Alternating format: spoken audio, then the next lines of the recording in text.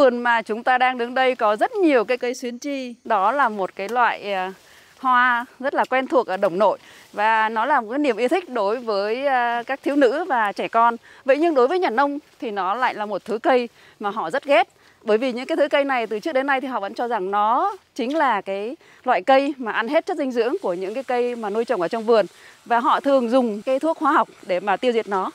Vậy nhưng chúng ta hôm nay lại thấy người ta lại có một cách thức khác để mà có thể sử dụng cái loại cây này à, với mục đích có ích hơn. Thì nếu mà mình ờ, dùng thuốc cỏ thì nó sẽ chết ờ, tận gốc và nó mất giống. Và bây giờ quay như mình cắt cỏ như thế này thì mình sẽ để một phần 10 phân gốc để lại. Thì quay như phần trên mình cắt này tạo ra thành nó chết thành phân vâng. cho cây trồng của mình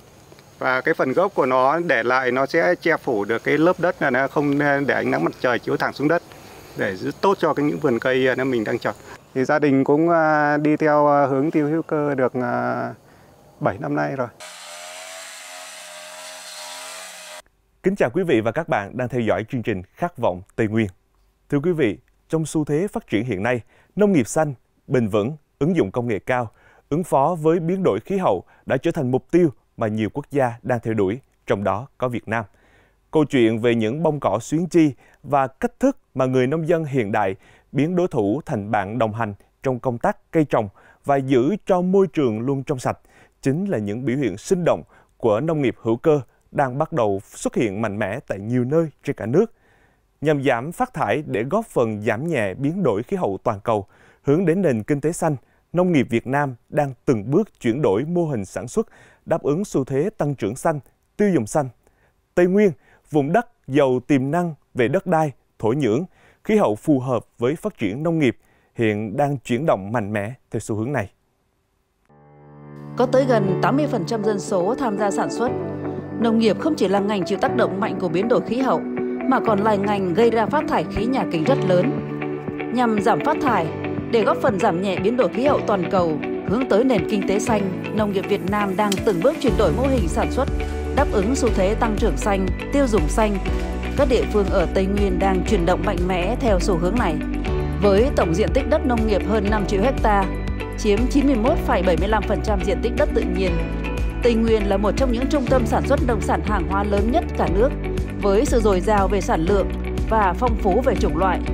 Tây Nguyên có điều kiện thuận lợi cho phát triển nhiều loại cây trồng có chất lượng cao, sản lượng lớn và khả năng cạnh tranh như cà phê, hồ tiêu, bơ, sầu riêng, cao su. Chuyển hướng sang sản xuất nông nghiệp hữu cơ, nông nghiệp công nghệ cao được coi là con đường phát triển đúng đắn của nông nghiệp Tây Nguyên. Theo định hướng, trong vài thập kỷ tới, nông nghiệp vẫn đóng vai trò quan trọng là bệ đỡ giúp ổn định kinh tế, xã hội, quốc phòng, an ninh của vùng Tây Nguyên –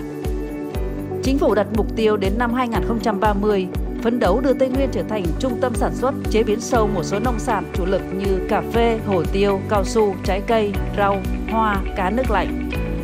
Theo lộ trình, đến năm 2030, phát triển kinh tế nông nghiệp vùng Tây Nguyên đạt hiệu quả cao dựa trên nền tảng khoa học, công nghệ, đổi mới, sáng tạo, chuyển đổi số. Toàn vùng hình thành một số sản phẩm nông nghiệp quy mô lớn có thương hiệu quốc tế gắn với các trung tâm chế biến nông nghiệp Tây Nguyên.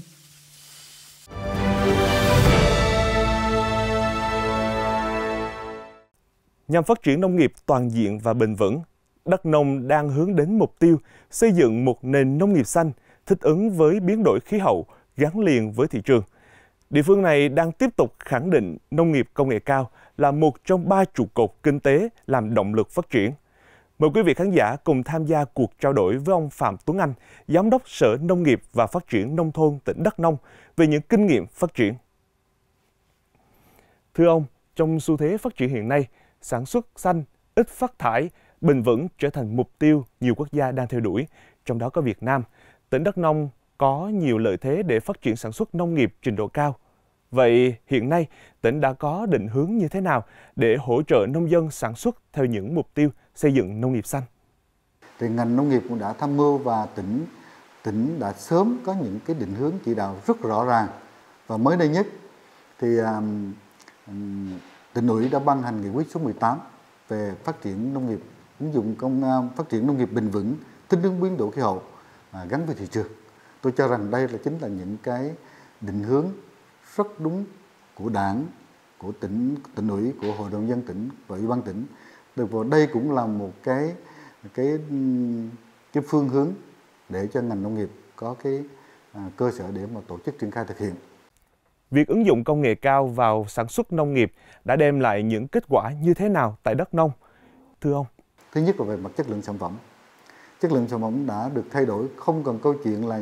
nhà là làm rau hai lúa mà lợn hai chuồng, tất cả đều là sản xuất hướng đến cái người tiêu dùng, đến sự an toàn cho chính bản thân của người của người sản xuất của cộng đồng của gia đình và cộng cộng đồng thứ hai nữa là qua cái việc ứng dụng công nghệ cao này nó giảm thiểu được chi phí đầu vào Đấy. và nó, nó nâng cao năng suất sản xuất bền vững bảo vệ môi trường sử dụng tiết kiệm tài nguyên thiên nhiên và năng lượng chính là mục tiêu phát triển của nông nghiệp xanh vậy ứng dụng công nghệ cao trong nông nghiệp có tác dụng như thế nào trong việc tái cấu trúc ngành nông nghiệp giảm nghèo và xây dựng nông thôn mới ở Đắk Nông, thưa ông?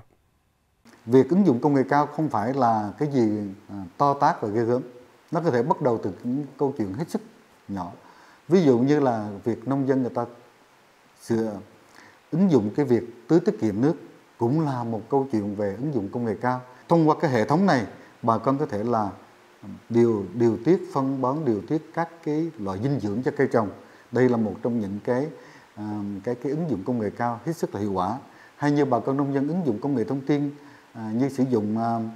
điện thoại thông minh trong cái điều kiện thiết bị tưới có nghĩa bà con nông dân đi bất kỳ nơi đâu ở bất kỳ vị trí nào cũng có thể điều khiển cái việc tưới à, cho cái vườn nhà của mình hay như là một số bà con nông dân đã tái sử dụng các phế phẩm trong nông nghiệp để sản xuất phân hữu cơ vi sinh cũng góp phần vào việc cải thiện môi trường nông thôn góp phần vào việc xây dựng nông thôn mới.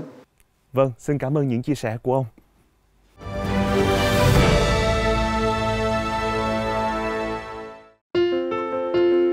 Xã Thuận An, huyện Đắc Minh, tỉnh Đắk Nông là xã biên giới nơi có nhiều đồng bào dân tộc thiểu số sinh sống, thuộc vùng đặc biệt khó khăn, vừa được công nhận là vùng sản xuất cà phê ứng dụng công nghệ cao đầu tiên ở Đắk Nông bởi có liên kết chuỗi giá trị, ứng dụng khoa học kỹ thuật vào sản xuất – tạo bước đột phá trong nông nghiệp, nâng cao thu nhập cho người dân. Vùng cà phê này có tổng diện tích 335 ha với 186 hộ nông dân ở các thôn Thuận Hạnh, Đức An và Hợp tác xã Công bằng Thuận An tham gia sản xuất. Tham gia hợp tác xã thì cũng được lợi nhuận nhiều hơn. Ờ, họ cứ hướng dẫn cho mình để mình chăm sóc cây cà rồi họ sẽ giúp mình bao tiêu sản phẩm. Người dân nơi đây đã áp dụng các quy trình sản xuất cà phê theo tiêu chuẩn Việt Gap, Global Gap, 4C, Rainforest, hữu cơ, Fairtrade để nâng cao giá trị sản phẩm, đáp ứng nhu cầu thị trường.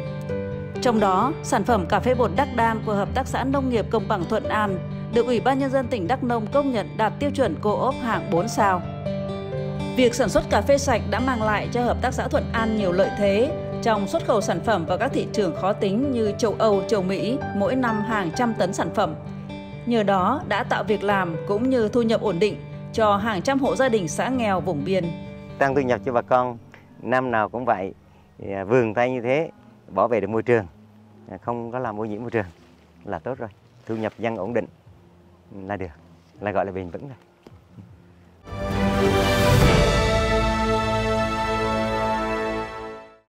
Với nỗ lực xây dựng nền kinh tế xanh, giảm phát thải cũng như thực thi các cam kết, Thủ tướng Chính phủ đã ban hành nhiều chiến lược như Chiến lược quốc gia về biến đổi khí hậu giai đoạn đến năm 2050, Chiến lược quốc gia về tăng trưởng xanh giai đoạn 2021-2030, tầm nhìn đến năm 2050, Chiến lược phát triển nông nghiệp và nông thôn bền vững giai đoạn 2021-2030, tầm nhìn đến năm 2050,